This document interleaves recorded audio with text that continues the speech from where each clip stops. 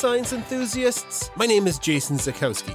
I'm a high school chemistry teacher and a science communicator, but I'm also the dog dad of Bunsen and Beaker, the science dogs on social media. If you love science and you love pets, you've come to the right place. Put on your lab coat, put on your safety glasses, and hold on to your tail. This is the Science Pawdcast. Everybody, welcome back to the Science Pawdcast. We hope you're happy and healthy out there. Our family's still riding high from the awesome event that we attended at the TELUS Science Center, where I got to talk about using dogs and kindness to teach science. And we got to interact with like so many people. I want to say hundreds, hundreds of people. Uh, it was a, a, such a cool, cool event, cool experience. And we're, we're still so thankful for the people that came to talk to us and listen to my discussion. Well, what's on the science pawdcast this week? In science news, we're going to look at a, a black hole that's kind of close to us that was discovered not too long ago. And in pet science, we're going to take a look at a study that tried to reconstruct what a dog sees. Super cute. Hey dogs, why are robots so insecure? Well, they only have artificial intelligence. Look at that one so bad. On with the show. Because there's no there's no time like science time. This week in science news, let's talk about a black hole that's maybe a little bit too close for comfort. it's okay. The the astronomers in this report made it very clear that we're not in any danger. So, but it's it's pretty close and that's why this is making news.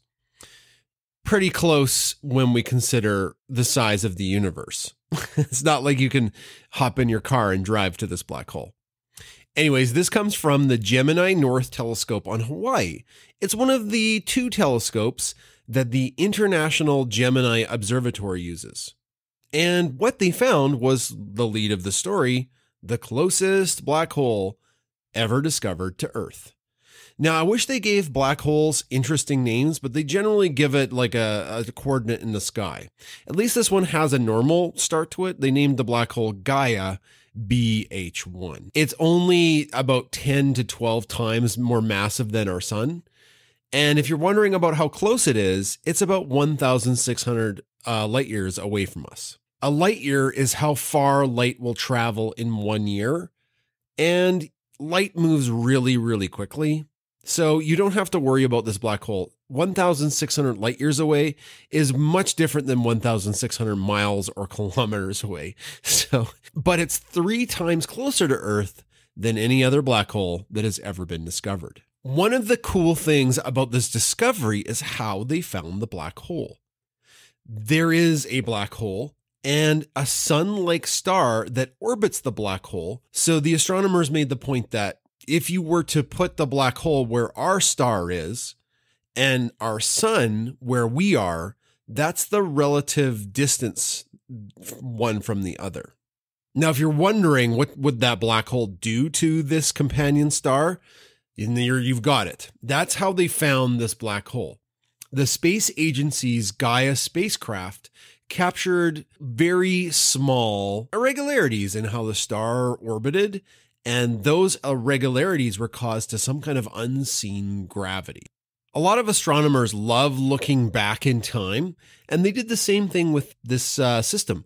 How and why and what would this system have looked like before that black hole came to be? Because remember, black holes arise from the death of a star. The star that made the black hole would be about 20 times as massive as our sun. And really, really big stars, they don't last as long as smaller stars.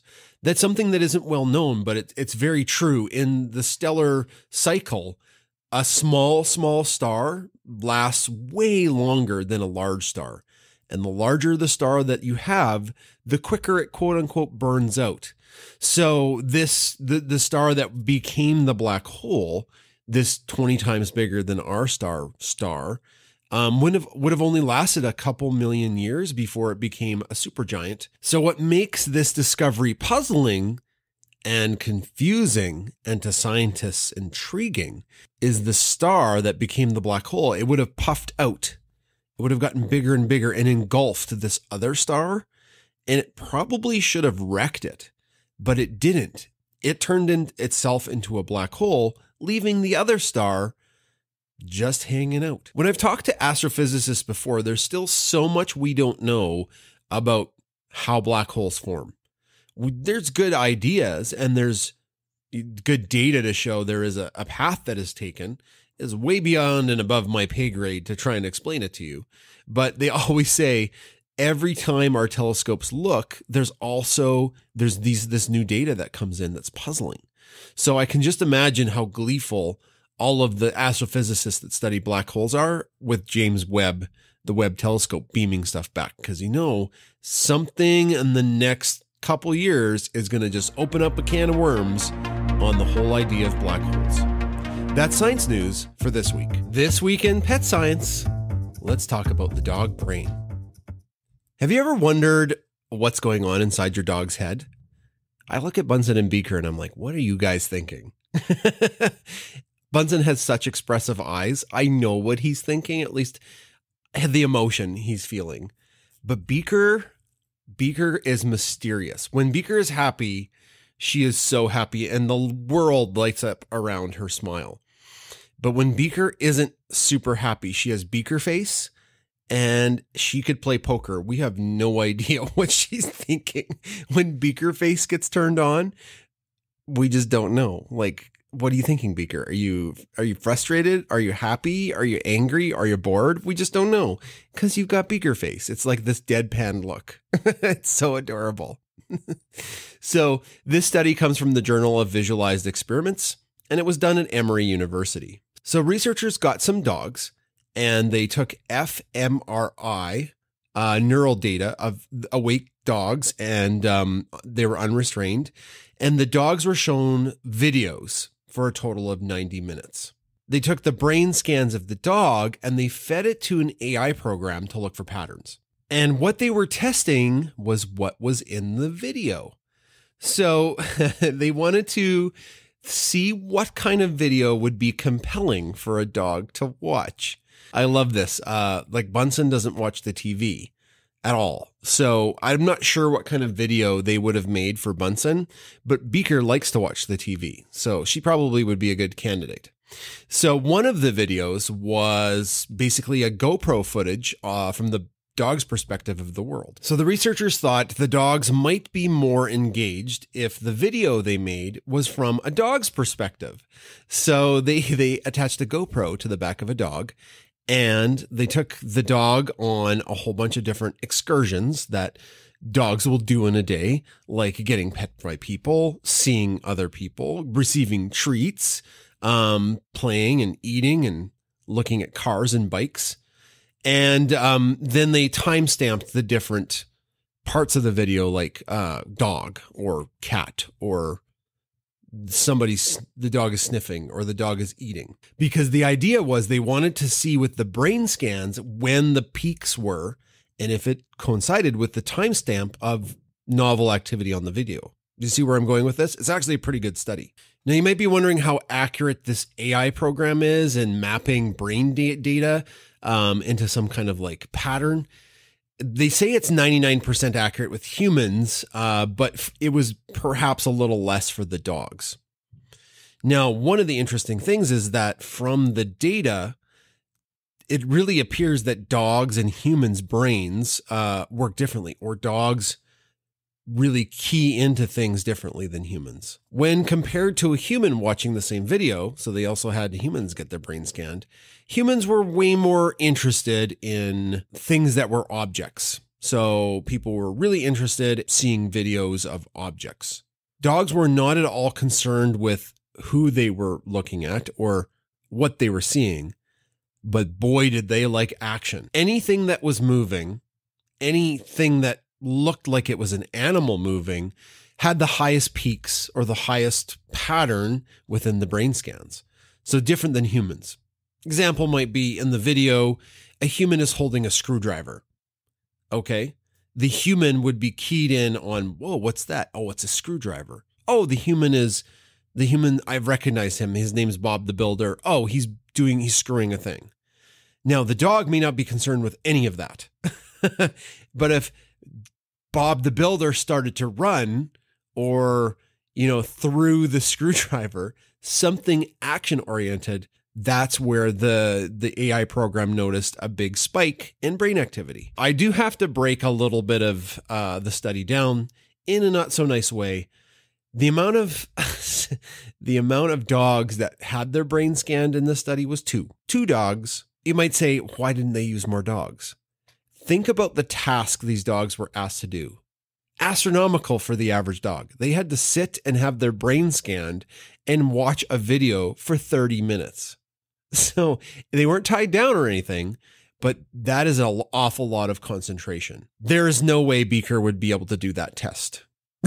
she would she would be a failed out participant. It is really wholesome data. I love the idea of the study. It makes sense that dogs are predatory in nature, so they're going to be keyed in on things that are moving. But it is cool that science is figuring out more about how a dog's brain works and what they're thinking. That's Pet Science for this week. Hey, everybody, before we get to the interview section, here's a couple ways you can help the Science Pawdcast out. Number one, if you're on any place that rates podcasts, give us a great rating. Tell your friends and share it with people who love science and pets, like teachers. Number two, think about signing up as a member of the Paw Pack. It allows you to connect with people who love our show, and it's a way to keep the show free. Number three, check out our merch store. we have the Bunsen Stuffy 2.0. There's still some Beaker Stuffies left. They're adorable as well. Warm, cuddly clothes, and adorable drinkware. The link is in the show notes. Okay, back to the interview section. It's time for Ask an Expert on the Science Pawdcast, and I have Eddie Guo, medical student, with us today. How are you doing today, Eddie? I'm doing fantastic. How are you? I'm so good. I'm very excited to talk to you about about what's coming up later in the interview because I was on LinkedIn and the University of Alberta had this amazing video and I was like, "Whoa, we got to talk to these people."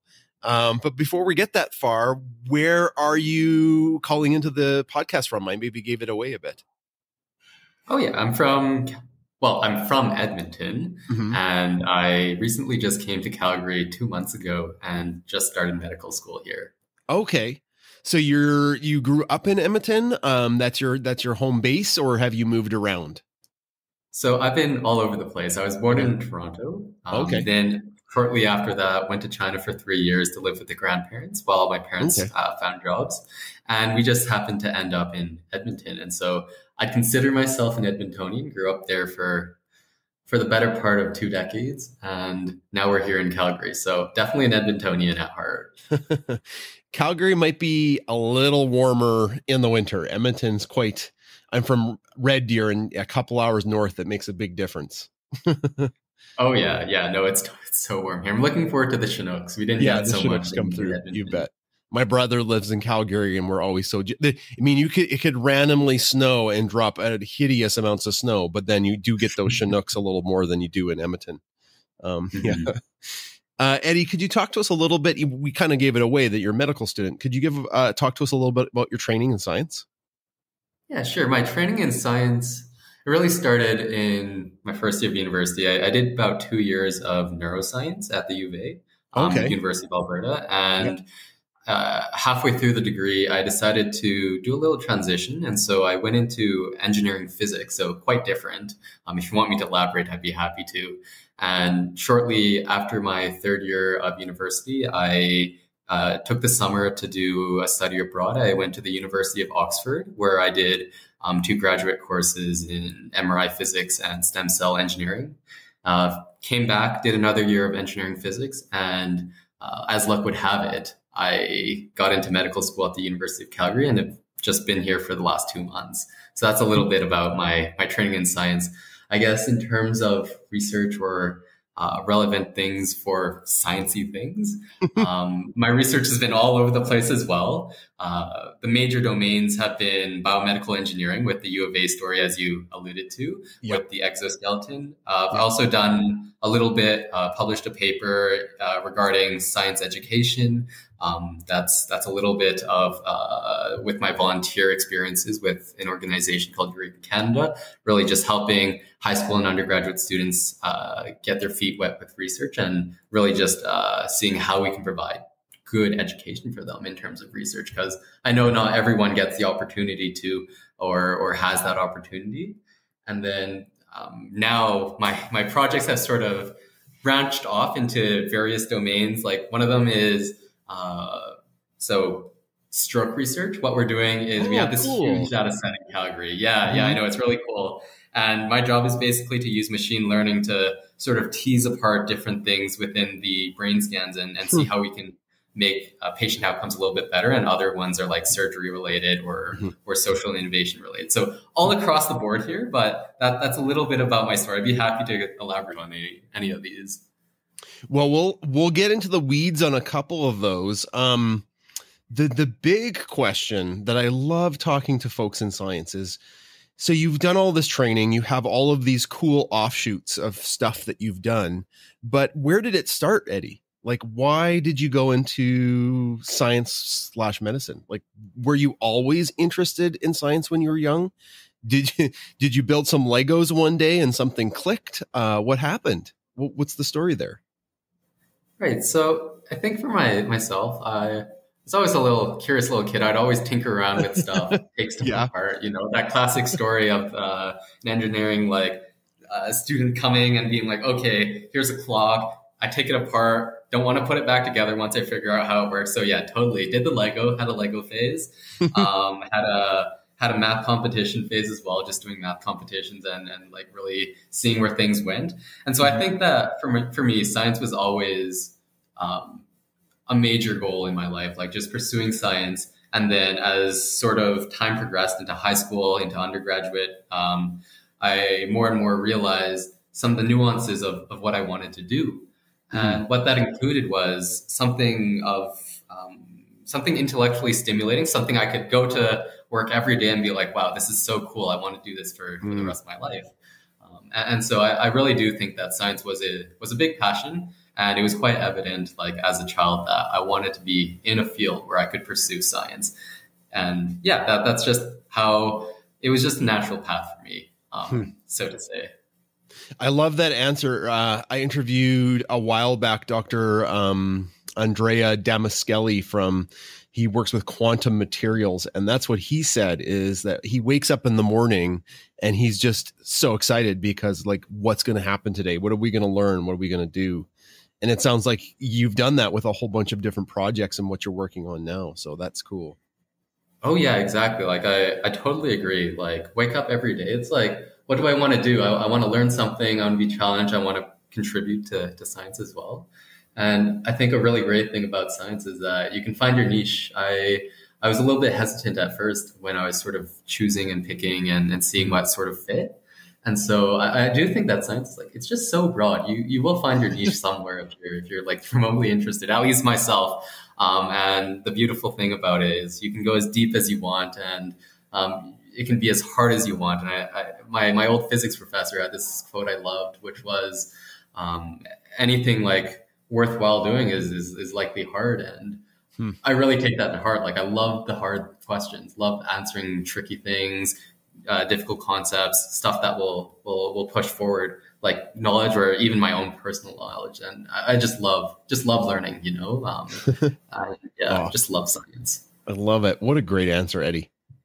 Thank awesome. you. Awesome.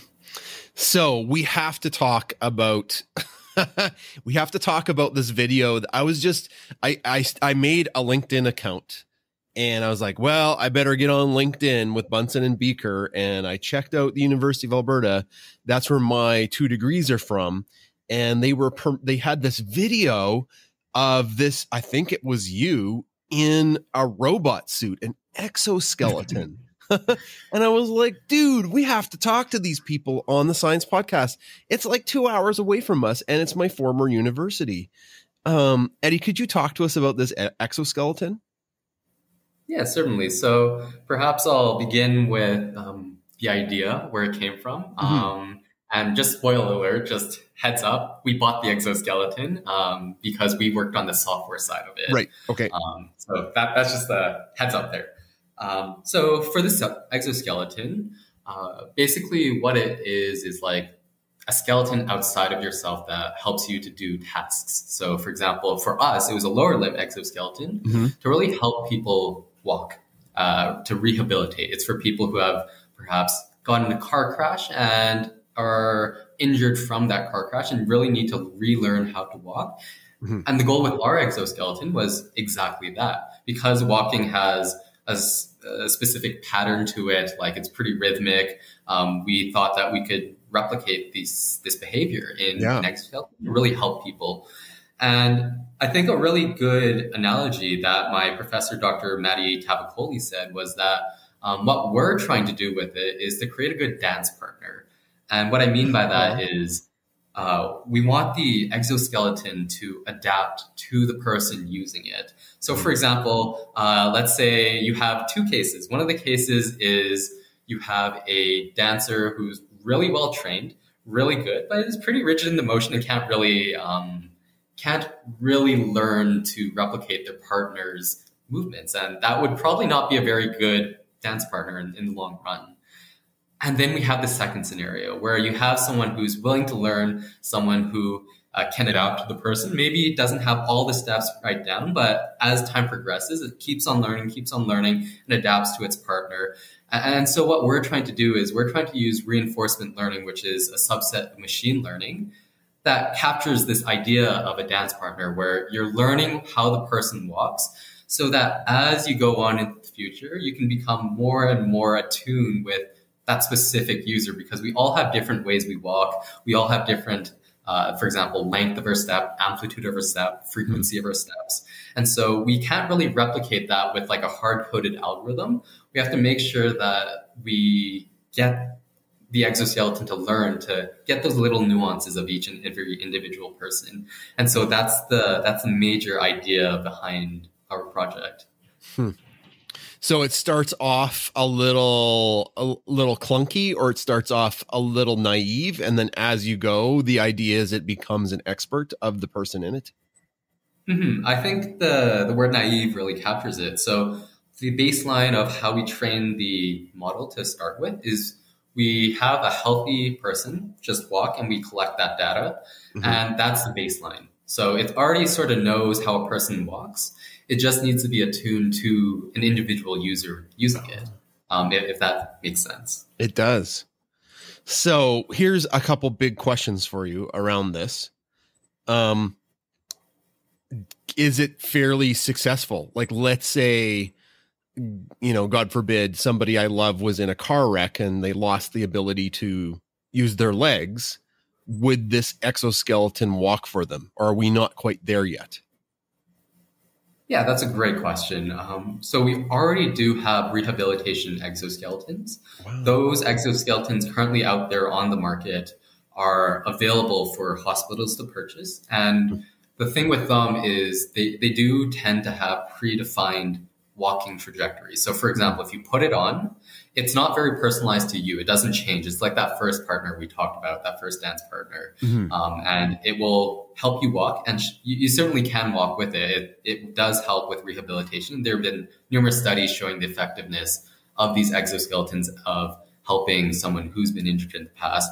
What we're trying to do is really to make it personal, uh, personalized. Um, so you can still walk, but now what you have that is that additional layer of personalization to you, uh, the user. And that should make the experience a little bit more comfortable. Um, and we are currently running the experimental trials. Like just, just as of today, you, you called in at a good time. Um, just as of today, we got the experiments to get started and, uh, soon we should probably have some, some results out and likely we're going to publish it either in a conference or, or a journal paper, uh, very, very soon. Oh, that is so cool. Well, congratulations on that being part of that team. Thank you. So, um, what am I right? Were you in the video wearing the thing? It depends on which video we're talking about. Okay. I was certainly wearing the video, uh, the exoskeleton one of the videos. Okay. One of them, my my supervisor, uh, Javad Mur, a PhD student, was wearing it, and another yeah. one I was wearing it as well. Okay. So if it was an orange shirt, yeah, yeah, that it. was you. It was the orange shirt. Yeah. Yes. So how how what did it feel like? Uh, because I don't know, I don't want to presume anything, but um, I would assume you're not differently abled. You can move around. Mm-hmm. So I think for myself, um, when I was wearing it in that particular video, we didn't quite add the personalization part in, and mm-hmm. so uh, although it did help, like it did feel like I was, I was like Iron Man for a little bit there. um, yeah, I know it's like every every like electrical or engineering physics uh, physics uh, engineers like dream to be like Tony Stark. But yeah, yeah, it did feel a little bit like that when I first put it on. Uh, I'm gonna be totally honest here. I was like, wow, catch a photo for me, please. Um, yeah, so felt like Iron Man for a little bit there, but I thought it was the realization when I when I was wearing it, like I was like, wow, this is helping me move a little bit better. There's a little bit of a learning curve to get used to it because I can walk, and so it, it did feel a little bit awkward at first to let the exoskeleton walk, walk for me, hmm. but it was just so cool. Like it was the synthesis, really, in my mind, of human and machine that uh, has been like one of the dreams of mine for for yeah. a very long time. Like as a kid, I was like, I want to. I want to like do something with machines and I want to have that machine like interact with me in, in a way that's like uh, really cool, like Iron Man. And, and yeah. so really, I, I thought that was an amazing experience and sort of shifting gears a little bit towards the patient side of things. I thought to myself, this, this is such a powerful technology that like just in the past decade has been exploding in, in terms of the papers out there, in terms of the technology invented, in terms of the patents. And I, I just think it's just a, such a fantastic time for um, for the re- the field of rehabilitation. Um, yeah. Yeah, because you see in science fiction shows, like let's just take Iron Man out of the equation. Um, mm-hmm. Like even Alien, the first Alien movie, um, uh, uh Sigourney Weaver fights the alien in that like giant kind of loader mech suit thing. And then there's the mm-hmm. Matrix Matrix movies. They have like those exoskeletons. Avatar. Um, what's the one with Matt Damon where he's got to get to the moon or something? Some Elysium. Oh, the Martian. Oh. Um, not Elysium. Oh, Elysium. Yeah. Elysium. Yeah. So like they're all and every. I'm not gonna lie, Eddie. Every time I watch those shows, I'm like, this this is kind of possible. I could see that because we already drive cars everywhere and they are, an, in a sense, an exoskeleton with wheels. This is just a little bit more advanced. So, um, when I saw that video, I was like, we're here, it's starting. So that's so cool. totally. It's, uh, it's, it's just so cool. So cool. Could talk about this for ages. So cool. Yeah. So, what, well, my, my next question though is is let's let's look into the future if we can. Let's dream a bit. Um, let's look 10 to 20 years from now and chat with a much older Eddie and a geriatric uh, Jason Sakowski. um, where do you see this technology going, being, advancing to in the next decade? I think in the, the next decade, and this is like just purely speculation from my mm-hmm. side, mm-hmm. from my well, let's do it. It's fun. knowledge. um, but I I foresee the algorithms that we use to personalize not just exoskeletons, but I guess for the context of, of this conversation, exoskeletons. Mm-hmm. I see it as really like a partnership between human and exoskeleton. You can get into an exoskeleton and you can just walk with it. You can just go for it. Right now, the state of things is we're still trying to figure out different methods of how we can go about making different algorithms that are adaptable to the person.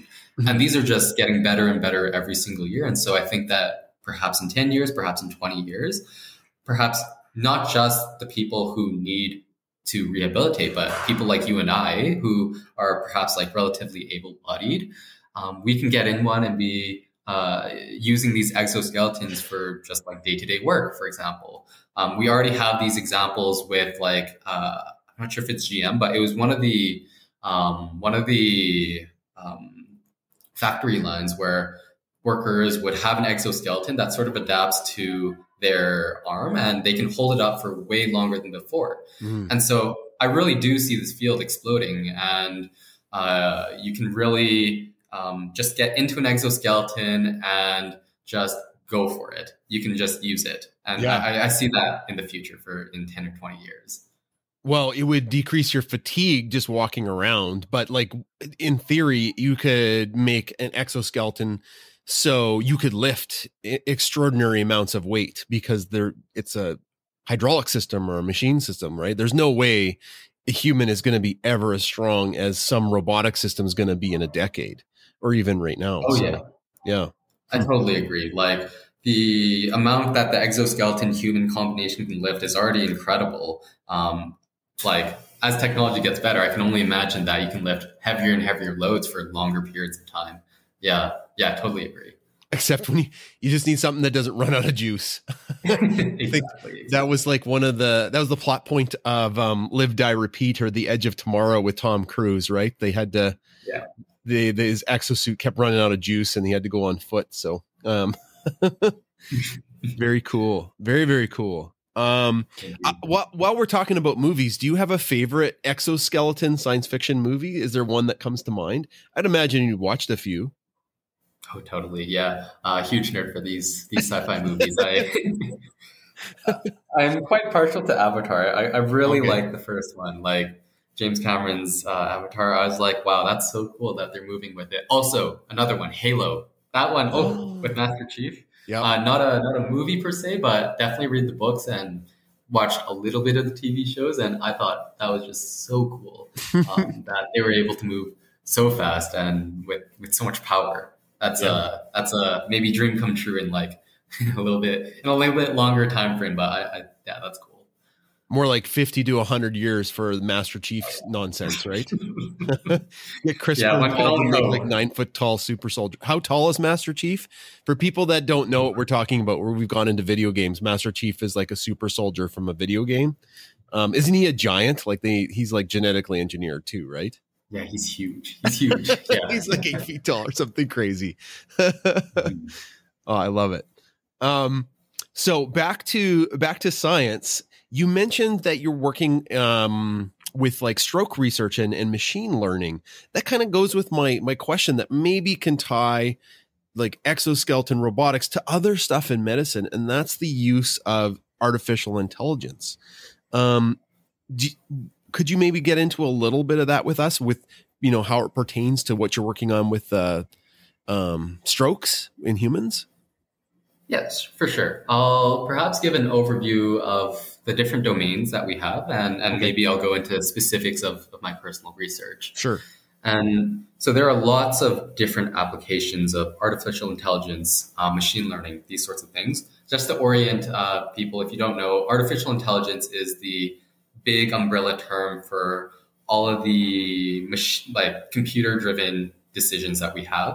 Mm-hmm. Within that is a subset called machine learning, um, where you we are using like statistics and uh, statistical learning really to make uh, inferences, classify, and make decisions intelligently. And then even within machine learning, you'll have deeper subsets like deep learning with neural networks or reinforcement learning. And, and that's just a little overview.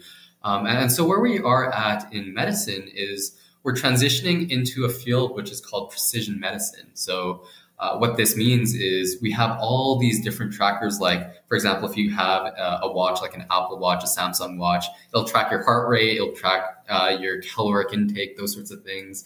Um, and the idea is we have so much data available to us now.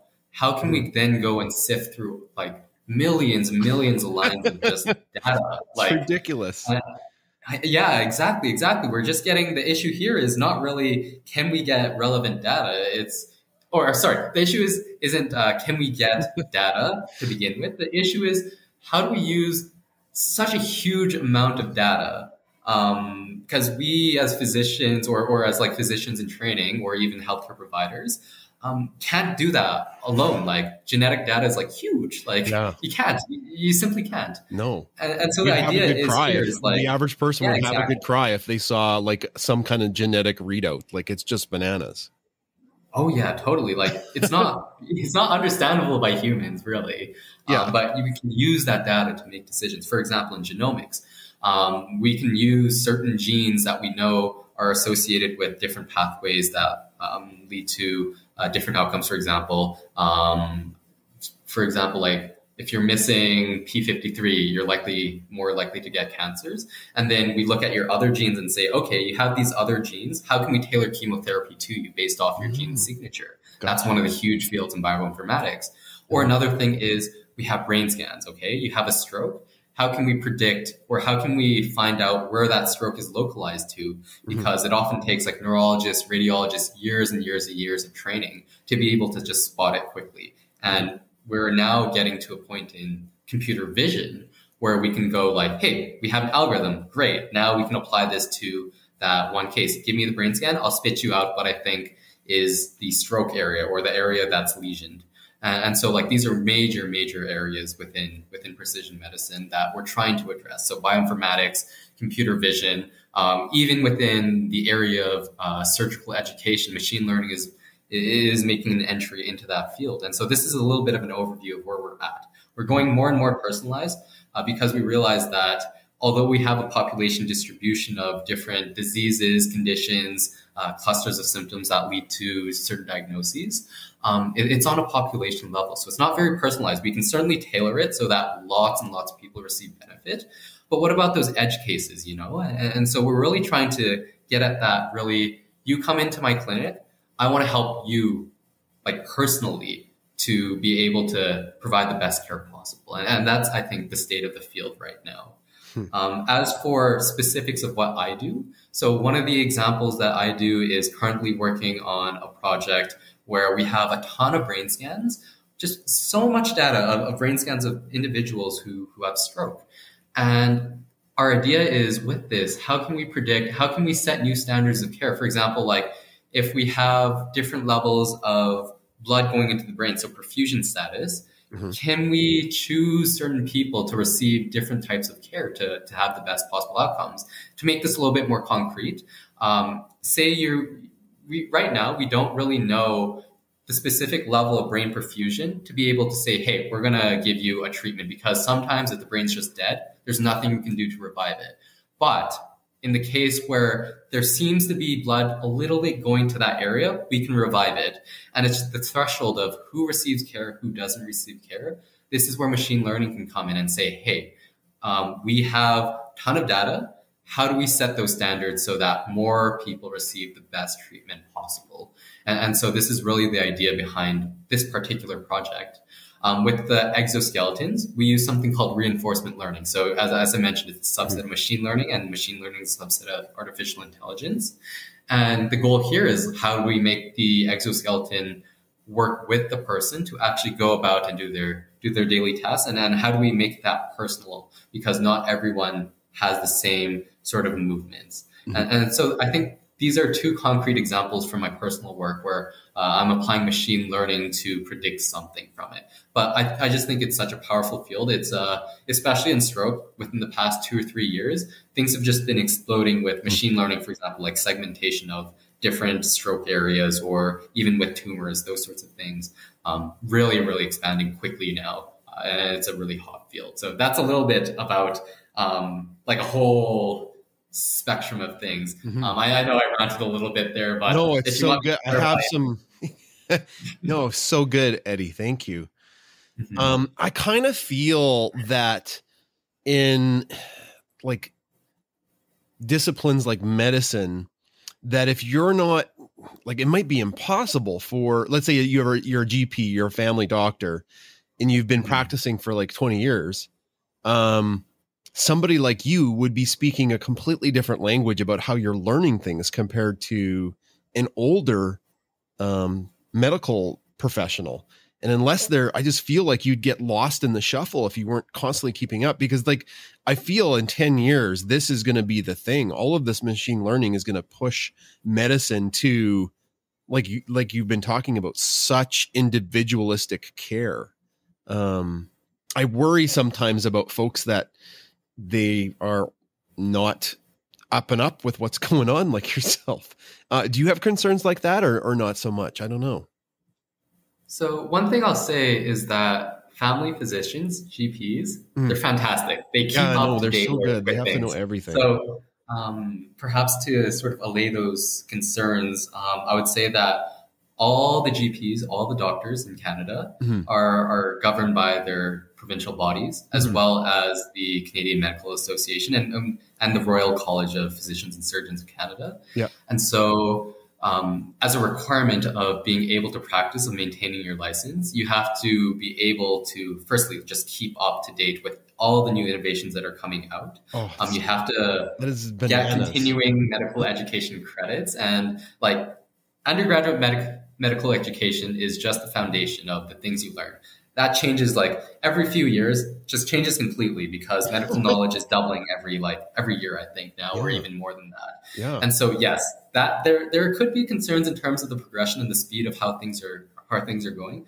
But I do think that GPs, family physicians, and physicians just in general in Canada yeah. are, are, are positioned really well oh, to keep good. up with those materials because they're mandated by the governing body to actually need to learn those things in addition to wanting to provide the best possible care for patients. And, and so I think that um, aspect of things is, is a little bit, it is covered. However, I do agree that things are just progressing so fast in, in the machine learning fields, in the innovation fields of medicine, um, that one really truly does need to keep up with the material. For example, I learned about a treatment for, um, for just uh, stomach troubles like an ulcer like that has changed within the past 10 years. The preceptors that have come in have told us like hey we now use something called proton pump inhibitors rather than for example like h2 receptor antagonists and um, uh, you don't really that's not terribly important but the, the thing i'm trying to get at is like things change and the physicians change with it. And i think that physicians are are positioned really well to bridge this field between innovations that are happening in the in industry in research those sorts of things and transitioning that to clinical practice and i think there are just so many opportunities for for um, personalization for machine learning to really improve the quality of care that we can provide hmm. you know maybe it was not my concern that they wouldn't know just my concern for them that there's mm-hmm. it's just so much work and i know physicians are they are the diamonds in the rough of society for how hard they have to work. So my hats and my total respect off to them. And for keeping up to date on all of this it sounds daunting. And um i'm you know just hats off to you for pursuing this as a career yourself. Thank you. I appreciate it. Wow. So um we are not you do you do you have any fears about uh like the exoskeleton talking to like Meta's whistleblower that said their AI was sentient or something like that, and then making some kind of Terminator robot. Like uh, we're we're we're not close to this nonsense, are we? so the meta thing, I feel like that was a little bit blown out of proportion. Yeah, that's um, yeah. but you know, yeah, like if somebody like hears, this, hears something that AI is sentient, you're like, what? Um, not yet, please. Exactly. Like there, there's absolutely no chance of the exoskeleton talking to Meta. Just putting that straight out there. Um, I, I, think that AI, around AI people aggressively. yeah, I, I, really do think that it, it, it's quite hyped up because, um, uh, after all, like all the algorithms we use are based out of like statistical methods, mm-hmm. and so when we talk about learning, we don't really mean like the learning in terms of how you and I learn. Perhaps it's uh, parallels there, but really everything in machine learning and especially statistical machine learning, it's all based on mathematics, statistics. We have to prove different things in different cases how it works, and um, really like I would be amazed if sentient um, intelligence comes from that. Maybe it's an emergent thing, and maybe it does happen but I, I don't think we're, we're quite there yet. For example, our exoskeleton, very limited case. It's only for that particular case where we have an agent controlling how fast or slow you want to go. And, and it's just a number that spits out. And so um, there's this thing called generalized AI, and people are working on it, like big companies like Google, like uh, uh, DeepMind, those sorts of things. And mm. they're certainly working on a general AI. But for sentience to come out of it, unless it's an emergent property of um, certain like computational power. Um, I I don't foresee like sentient AI becoming a real threat until much much later. Mm. Um, yeah, I've heard that too from AI scientists that we're a ways away from this. Yeah. It's got the com- it's got the it's got the computing it's got the brain capacity of like a worm. Um, but the worm can mm-hmm. crunch numbers pretty good. That's the best exactly, analogy exactly. I was told. that's a that's a fantastic analogy, exactly like that. Maybe one day we will reach the computing power of the human brain, but even then, like the algorithms that we design are, are human algorithms, and they're based off of statistical learning. And so, whether or not sentience can arise from statistics is, an entirely other question, but just based off the way things are going, like everything is rooted in math and stats. And so um, I, I don't know if sentience will, will come from it anytime soon. well, judging by how well I did at my, st- my statistics 202 class in university, um, maybe AI has me beat there, but yeah, probably is not going to be.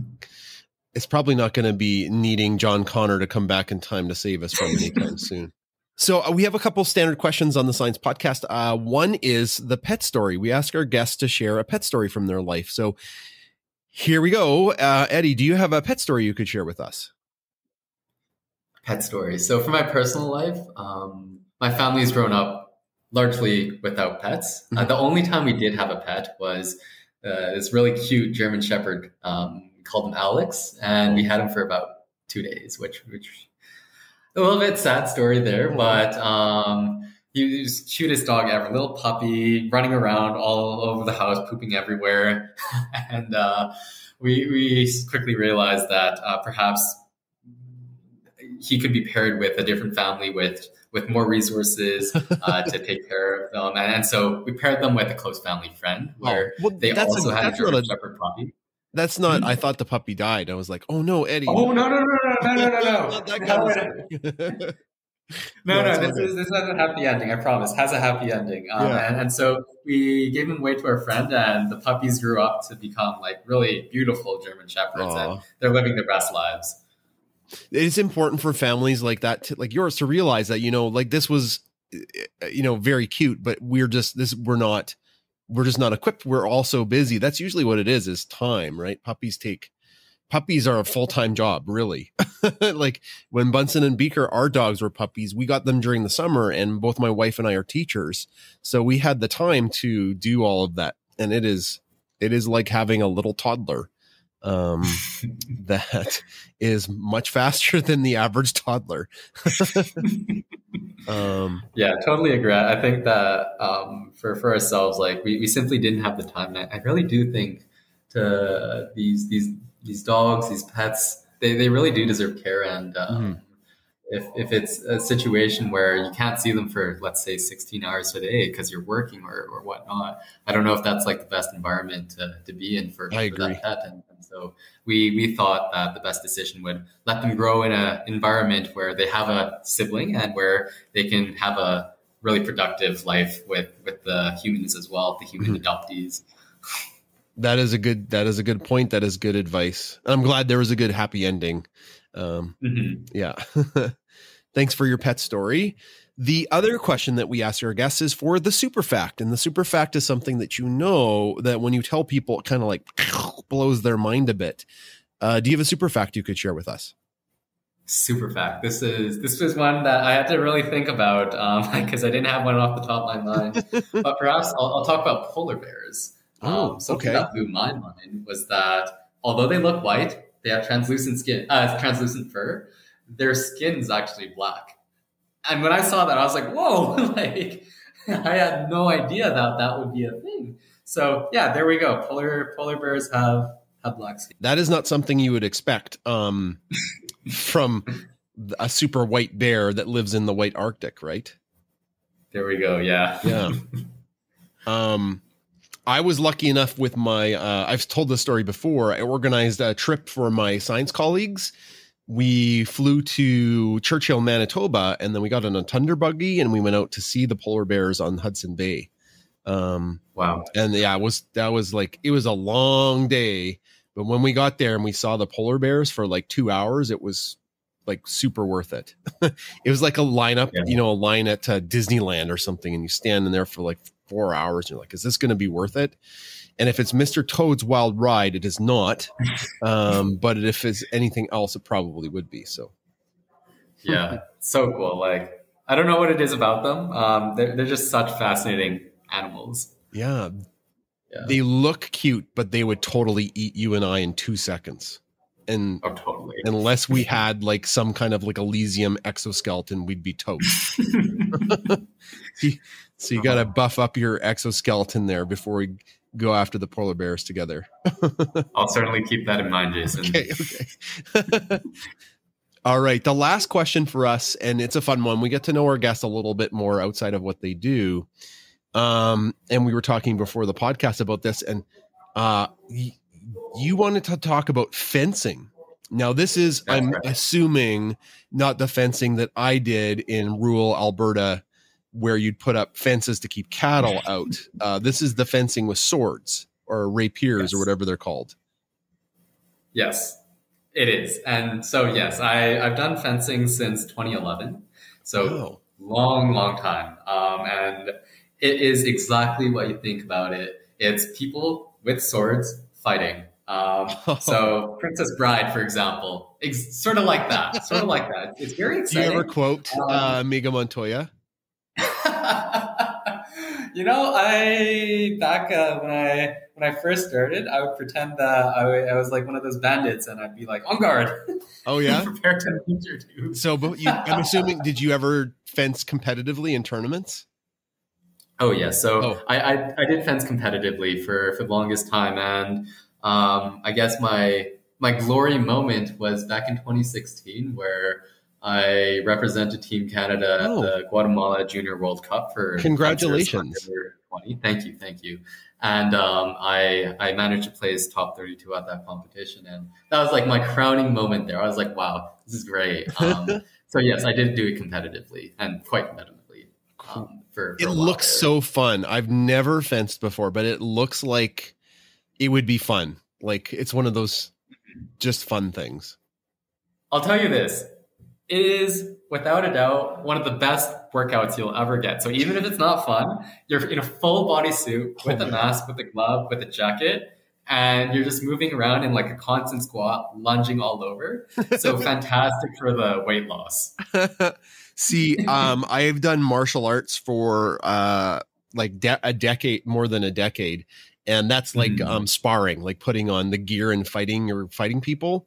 Oh, Not like you're UFCing, but you know, the, it is an incredible workout to fight. Really is. um, we yeah, never got I to fight that... with our swords, though. Um, I always mm. regretted that in kung fu. Um, we were not allowed to fight with the broadswords because no. we were told that we would probably kill each other. So that's a fair point. That's a fair point. Yeah. Do you have any? I, I did you that, invent any moves? Like, do you have any? Can you dish on us any Eddie like special moves to get points on people? Mm, yeah. So that that's a really. I, I, I thank you for asking that. I, I, think I do have a favorite move. I don't okay. know if I, I didn't invent it, but it's one of my absolute favorite moves. Yeah. Is that when someone's attacking you? Yeah. You can parry their blade and then you can flick. So what the flick is, is literally the blade is bendy, okay? So it, it can bend like quite a bit if you're fencing uh, the foil weapon. And it can bend over someone's back, like literally arch over and hit them on the back. And so this is a stabbing weapon. And so if you hit enough with enough force with the flick, you can get the point.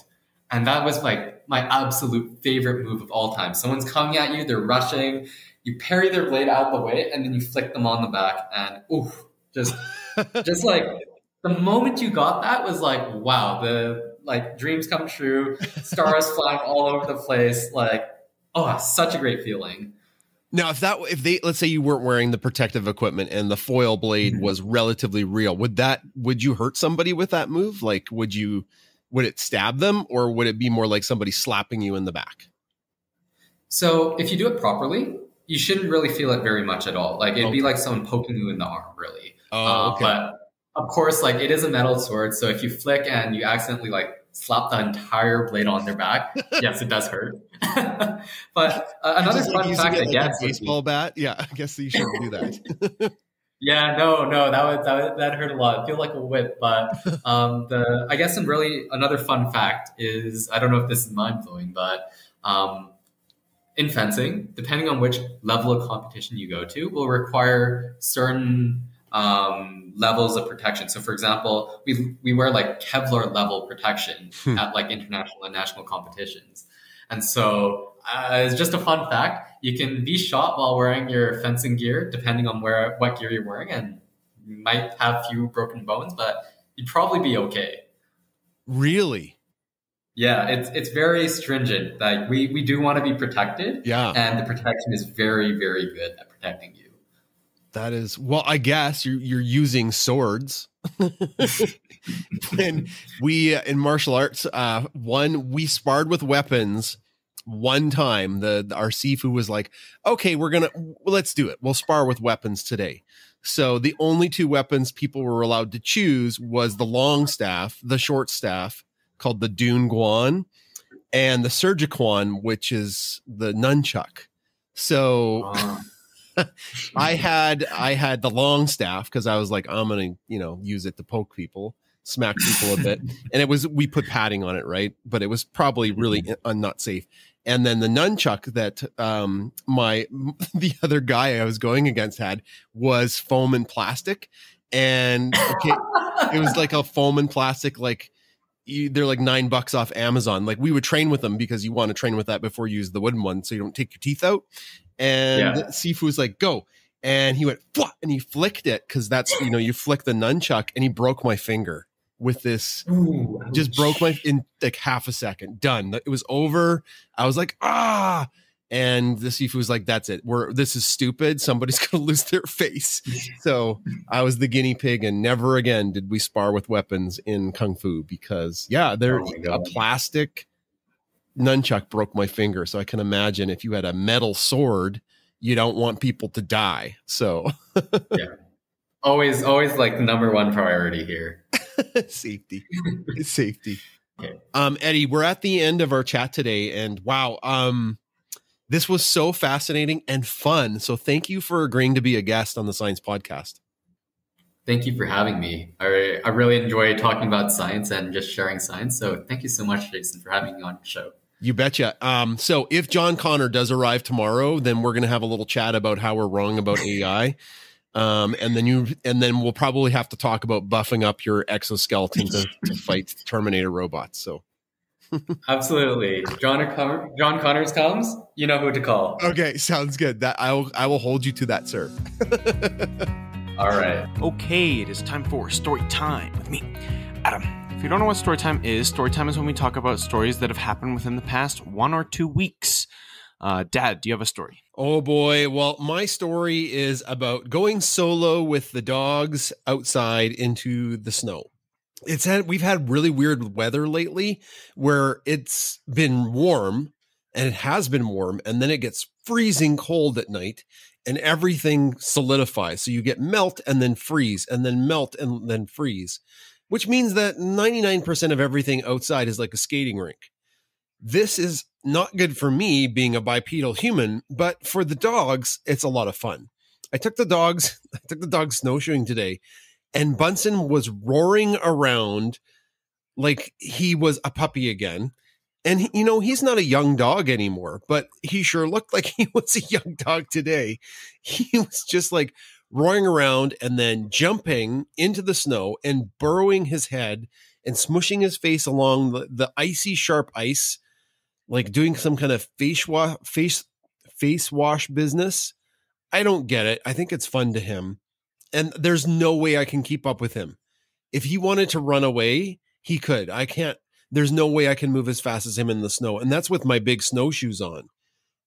Um, so uh they just you know, Bunsen's just in his element, blustering wind today. The wind is, you know, blowing his snow majestically and Beaker's eating snow and Bunsen's roaring around. Um, it really, it really makes you feel, even though the weather's been weird and then it was cold and windy today, it sure makes you feel good watching how, how much fun the dogs have in the snow. So that's my story. I sure do. I was trying to keep the dogs very quiet while you were telling your story, Jason, because yes, Bunsen now is saying you are sitting down at your computer and he likes to talk. So I opened up the bark box and there's it's a Thanksgiving theme and the, one of the toys is called the gobbler and the other one is called squeak potato fries. But neither of those toys are as exciting as me sitting at the computer because now Bunsen is right beside me. The other story is that we have been packing up the Bunsen Stuffy 2.0s to send to our customers. And the minute we opened up the large Amazon box with nothing inside, Ginger jumped in. And Ginger jumped in and was like, if I fit, I sits. And Beaker was like, nope. I don't like those shenanigans. And it was just a, a interesting and funny time. And it reminded me of the cat scientist that we had on uh, the space the Twitter space. Um, just saying, you know, that they like to go into boxes and it doesn't matter what size. When the, it opens up, the cat will find it. So that's my story. The dogs were very concerned that Ginger was in the box. They didn't know. They did not know how she got in there. They did not know why she was in the box. I think they thought it was very weird and scary. So they were very concerned while Ginger was in the box. And my story is about Ginger as well. Um, and my story is about Ginger escaping. If you didn't know, Ginger did escape uh, from our home outside for like four hours, maybe. It was crazy. Uh, I was gone to uh, an event, a jazz, a jazz, cafe event, um, and mom and dad went out for uh, supper so the house was all alone. And what we think happened is that Ginger got into the garage while dad was doing uh, beaker stuffies or while one of us was getting outside or something happened. Um, but she got into the garage and then we left in the car. And then she got out through the garage and was just prowling around outside for the greater part of four hours. Um, yeah, it was really big of a uh, event trying to find her. Uh, looked throughout the entire house, couldn't find her, and then just by a stroke of luck, uh, Mom was walking around outside and saw Ginger. Um, so then she came back inside, and I'm very happy to have her back because she's a good kitty and I love her. Mm-hmm. Um, yeah, so she's back. She's fine. Uh, the dogs were concerned about where she went, and Beaker was very sniffy. Like, where'd you go? Why'd you leave? yeah, when when Ginger came back in the house, they were really happy to see her. I think. Yeah, because they were like, "Where's where's a friend?" There's our little furry friend that sometimes hits us. Um, it's a love, it's a love hate relationship. Just actually, Bunsen was coming to see me, and Ginger was sitting there, and she swatted at him because that's what she does. Well, Bunsen's about like eighty times bigger than Ginger. You got to think if some big thing was coming at you. I mean, you wouldn't hit it, but kind of scared. Bunsen Bunsen is terrified of Ginger. yeah, it's so funny because Bunsen's so much bigger and yet Ginger governs where he goes. If he, she's in the doorway, he doesn't go through the doorway. yeah, that's right. All right, that is that is story time. Thank you guys so much for listening to this uh, podcast episode and this section of story time. I'll see you on the next one. Bye bye. That's the end of another science pawdcast episode. Special thanks to our guest, Eddie Guo, who talked to us all about the robotic suit and also some really interesting perspectives in medicine. At this time, we'd like to give a shout out to our top tier Pack members. They make the podcast possible and a whole bunch of other stuff. Chris, take it away. Elizabeth Bourgeois, Peggy McKeel, Mary LaMagna Ryder, Helen Chin, Holly Burge, Sandy Breimer, Brenda Clark, Andrew Lynn, Marianne McNally, Karen Beth St. George, Catherine Jordan, Tracy Domingue, Diane Allen, Julie Smith, Terry Adam, Shelley Smith, Jennifer Smathers, Laura Stephenson, Tracy Leanbaugh, Courtney Proven, Fun Lisa, Ben Rathert, Jody Ogren, Brianne Haas, Bianca Hyde, Debbie Anderson, Anne Uchida, Donna Craig, Amy C., Susan Wagner, Kathy Zerker, and Liz Button. For science, empathy, and cuteness.